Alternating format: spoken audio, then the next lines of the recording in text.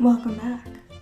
This is part two of me making this fashion plate. Um, so my last video, if you didn't see it, I made the bodice and now we are starting on the skirt. And hopefully it's easier than the bodice. We'll see. It's a skirt. I've made millions of skirts. Right? Right. Right. Using Truly Victorian's trumpet skirt pattern with the round length and pleated back. I'm cutting out the pattern for the skirt and I can already tell it's going to be much longer than I need it. Oh, the joys of being short. I don't really want to take it out of the middle because of the way that it trumpets out. All of a sudden, your lines are like this. And so I don't know how to fix that. So I'm just gonna take it off the bottom. It'll be fine. That's what I usually do for my skirts anyway. Good news, uh, once I tried on the skirt with the boots that I plan on wearing, it was actually not that much longer than I need it to be. Massive ruffle hemmed. Now it's time to gather this baby. The ruffle's done.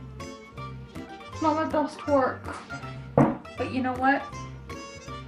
It's on the lining, so it doesn't even matter. Make a decorative point to the center back edge at bottom of top stitching. We'll see if I can even make it through here, let alone make it decorative. It's a lot of fabric. How's that for a decorative point? Can she do it on the other side? No, probably not. But let's try. Honestly, it's not bad. Expected it to be a whole lot worse. Today. So I had a little problem with the skirt. Somehow it ended up three inches too big. I'm, I don't know how. I'm blaming user error. Um, and after I had a little panic about it, I realized it was actually not that big of a deal because it's gored. So I just took in each seam an extra quarter inch and kind of blended it back into that half inch seam allowance. Worked out perfectly. Now it fits and all I have to do is hem it and put on the trim on the bottom and then it's all done. In order to do the hem, I have to make bias tape for the facing and bias strips for the hem stiffener. They have instructions on how to create a bias strip using a square. I've tried this before from a video. I didn't have success, but let's try it with this drawing. See if I can make this work.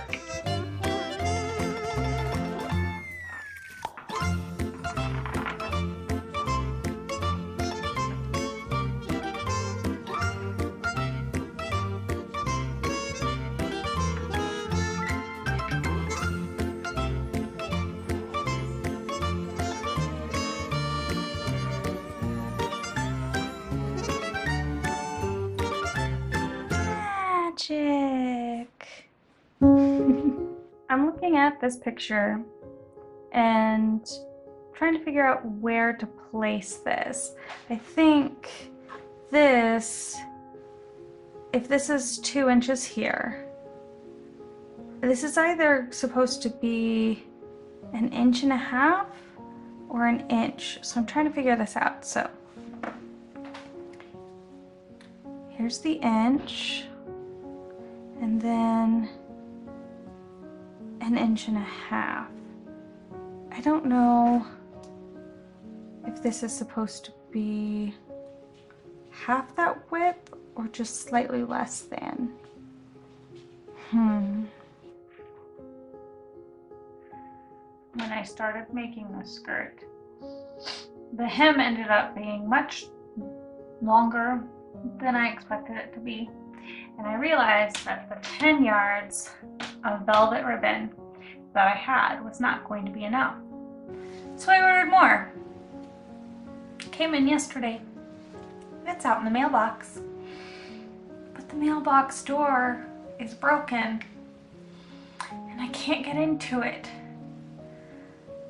So I can't finish the skirt.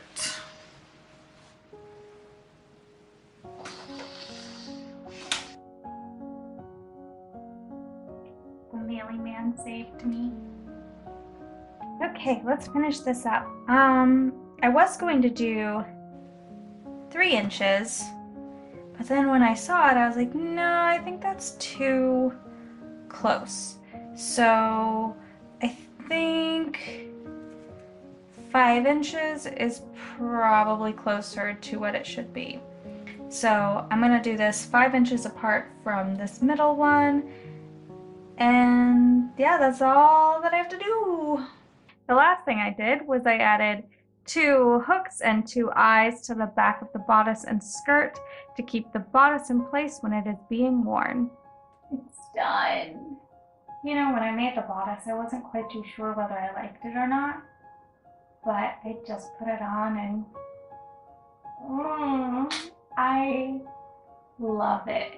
I'm hoping this weekend, if it doesn't rain, maybe we can have a picnic and have like a ridiculously cute video. We'll see.